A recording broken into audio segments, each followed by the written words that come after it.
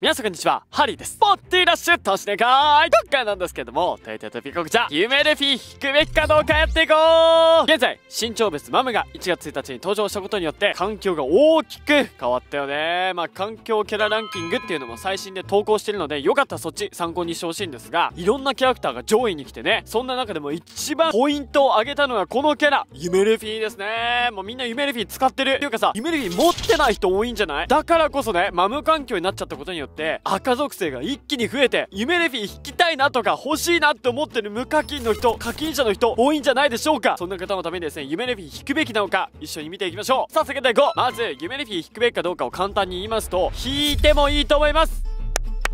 やっぱりね、夢レピーはめちゃめちゃ強いよ。青キャラクターの中でもタイルチェンジをしながら、ゲッターモードとアタッカーモードを使いこなすことのできる夢レピーは、戦える幅が本当に広いからね、自分で戦いに行くこともできるし、効果力になった状態で敵陣に乗り込んでいくことによって結構ね、圧をかけられるから、マジで見えない覇王色まとってるよ。それくらい夢レピーの効果力性能っていうのは、どんなキャラクターに対しても通用するからね、マムが登場したことによって、いきなり刺さる性能として復活したこの夢ルフィ誰に弱いかっていうのを見てから引くべきかどうか決めた方がいいと思うんだけど基本的に夢ルフィはシャンクスに弱いです。はい。状態異常系に関しては割合ダメージとかは回復するのでマグマグを持ってる赤犬のマグマグ状態とか効きません、まあ、回復しちゃうからね。回復性能耐久性能もあるので夢ルフィは意外と戦える幅が広いんですがシャンクスの圧倒的なあの高火力攻撃あれには対応できません。やっぱりきついよねシャンクスはね。状態異常が入らないっていう時点でバウンドマンで戦ってもあんまり意味がないしスネークマンにモードチェンジをしたところでね吹っ飛ばしは効くんだけどバウンドマンほどの広範囲なスキルにはなってないから意外と当たんなかったりすんだよねあれが。そしてシャンクスのよろけ無効の効果だったりとかがあって属性相性も相まってまあ夢ルフィは結構シャンクスに弱いよね。まあその他のキャラクターで言ったら緑属性のキャラクターだとおでんにはちょっと不利な感じもあるしロジャーもね僕は使ってて夢ルフィは全く怖くありません。なのでよろけ無効をついてる緑属性とかだったら結構きついんだけどそれ以外だったらね戦えるのでみんな持っといてもいいと思います。現環境ではマムが赤緑のシャンクス青のルフィっていう感じでね三つどもえが環境で作られた状態なので夢ルフィを持ってないとマムは対抗できません。やっぱりちょっときついよね。シャンクスでもまあまあまあいけるっちゃいやいけるけどだいぶシャンクスでもきついと思います、まあ、それでも最強であることには変わりはないんだけどねシャンクスも。なので青属性を育ててるけど現環境で戦えるリーグキャラを持ってないよっていう人はぜひ夢ルフィを引いてみてもいいと思います。まあなぜこんな話をしてるかと言いますと2月19日超別ゲンキャラクター復刻。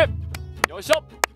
この復刻キャラクターがね、誰か全然わかりません。まあ、半年に1回の復刻イベントとなるので、去年だったら赤犬がね、カイドウ登場前に復刻してたこともありまして、今年も半年前のキャラクター、シャンクス、ゼファーが復刻するんじゃないかとか言われてるんですが、まあ、僕的にはね、現環境で一番需要のある夢レフィーが復刻しても全然おかしくないなと僕は思ってます。むしろ、このタイミングで復刻した方が、夢レフィーとしても株が上がると思うんだよね。次の環境キャラクターはさ、青ゲッターが噂されてる中、やっぱりマムとかに強いキャラクターで登場するはずだからね。夢レフィーとのセットでリーグで使ってほしいってなったらあの天井なしガチャの夢レフィーが復刻してもおかしくないよね。さあそんな夢レフィーなんですが次復刻した時どのくらいのダイヤ数で当たるのかって話なんだけどさみんないくつだと思う？天井なしガチャだよ一応。1回目で登場した時は。いやどうなんだろうね。4000個とか3000個くらいになって登場すんのかな。でも結構高くない ?3000 個って。普通に新超別を買うよりさ高いと思うんだよね。カイドウだって2250個だっけ？それくらいで当たってるしシャンクスに関してはいやそう考えたらちょっと高いよね3000個とかだったとしても。さすがに引けないなっていう人も多いと思うので課金制度で確定1体ありとかだったらありがたいんじゃないかなそこら辺で確定があったら嬉しいよね。さあということで今回はですねそんな夢レフィがどのくらい通用するのかっていうのを現環境で戦って実際に証明していこうと思います。実際に今日使っていくパーティーはこちらですと。はいまあ夢レフィなんですが自分で攻撃をしていくので、まあ、よく戦うということでダメージを受けてもスキル1が短縮されるようなメダルにしております。ります。そして相方はレイリーでいきます。レイリーはいつも通りのねゲッターメダルをつけております。サポートはこんな感じ。156%でいきます。今は1300イートまあそこそこ高いので、まあ、ここで通用したら夢ルフィいけるよねってことです。さあ下げていこう。さあじゃあ1戦目やっていきましょう。まあ2戦目くらい取れたらいいかな。ステージ変えて取りたいから、まあ、1戦目と2戦目の間間開けましょう。取っ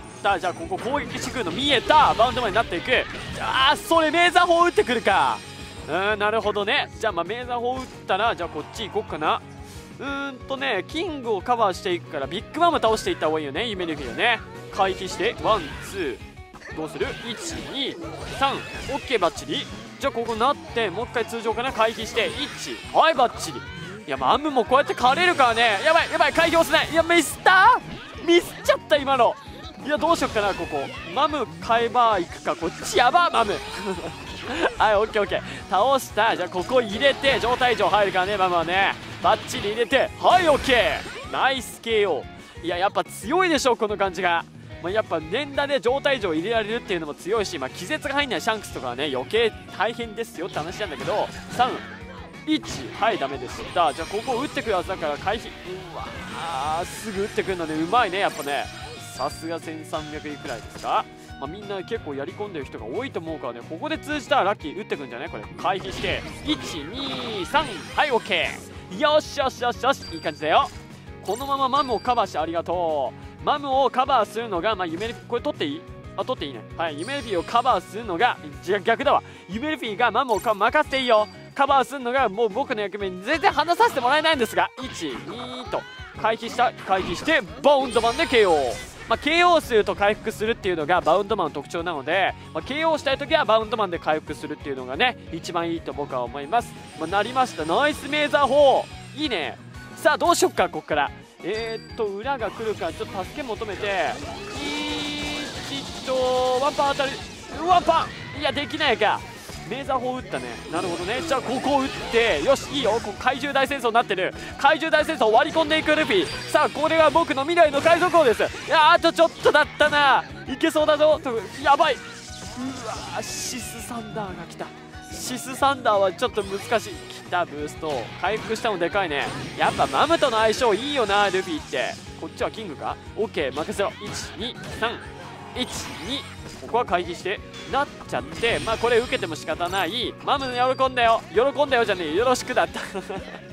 頼んだよとよろしくは混ぜて喜んだよなっちゃった。回避したの見えた。バウンドまで回復。OK バッチリ。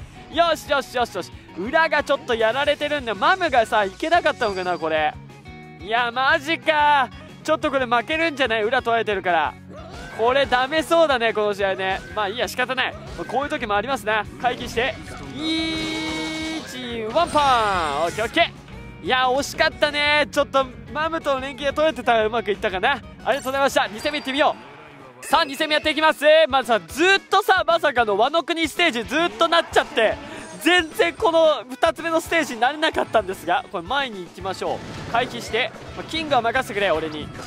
状態上付与してこっからバウンドマンワンパン。オッケーオッケー。よしよしいいですよ。マムをカバーしていきます。